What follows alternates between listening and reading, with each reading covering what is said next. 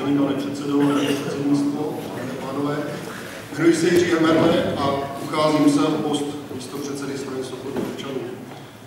Pokusím se být stručný a sdělit to, co považuji za důležité.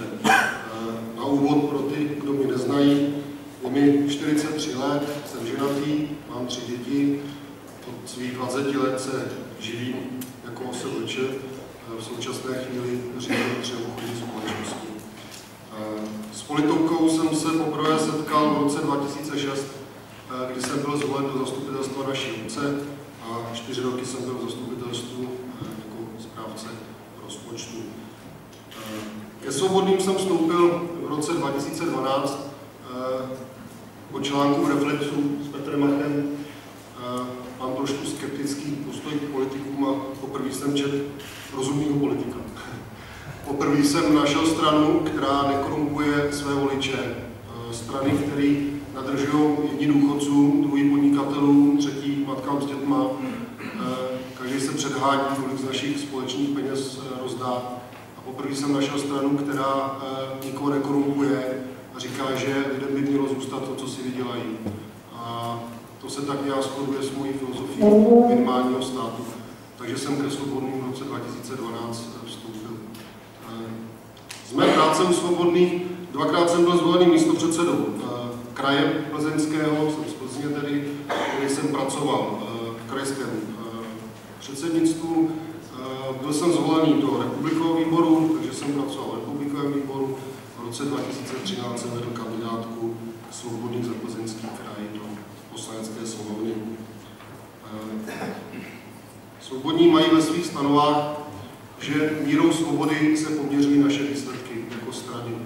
A můžeme si říct, že tedy přes nějaké dílčí výsledky jsme zatím toho mnoho nedosáhli, protože venku řádí socialismus, venku jsou individuální lidská práva a svobody tlačovány ve prospěch jakýchsi kolektivních.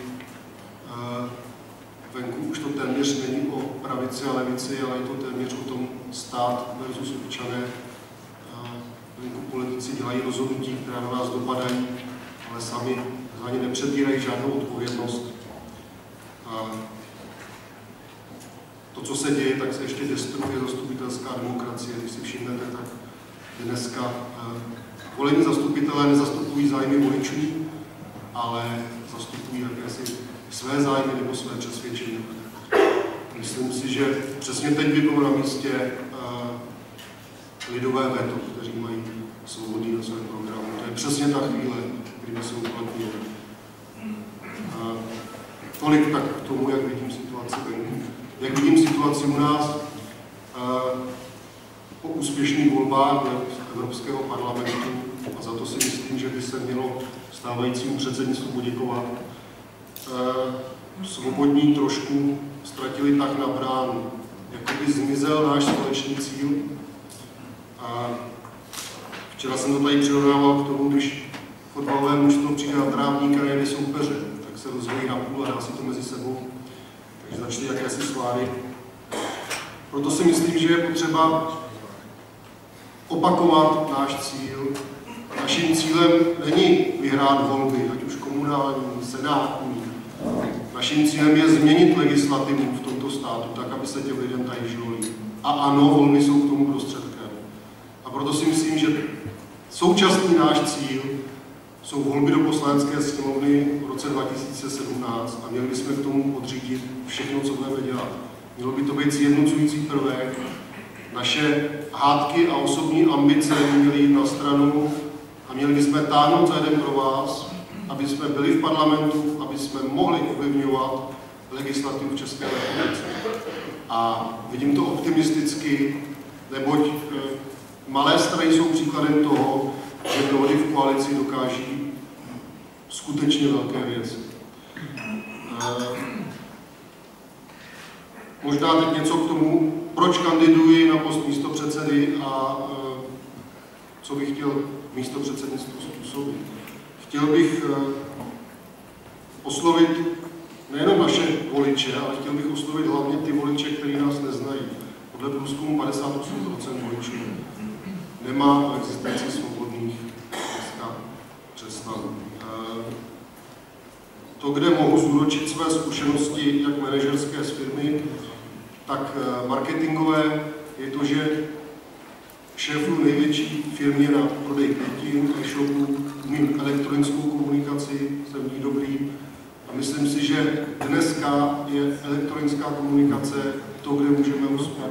Doba se změnila, je to dva měsíce, kdy Google vydal poprvé statistiky, že vyhledávání z mobilů překročilo vyhledávání z desktopu. Dneska, když se podíváte, každý máte telefony, jste na internetu, díky tomu, že jsou dostupná data. Dneska mají lidi otevřený internet na autobusových zastávkách, metru, všude. Ty lidé tady jsou a umožňuje nám to je oslovit umožňuje nám to oslovit s tím, co je zajímá. Marketingově zapomeňme prosím na to, že jedno téma pro všechny není.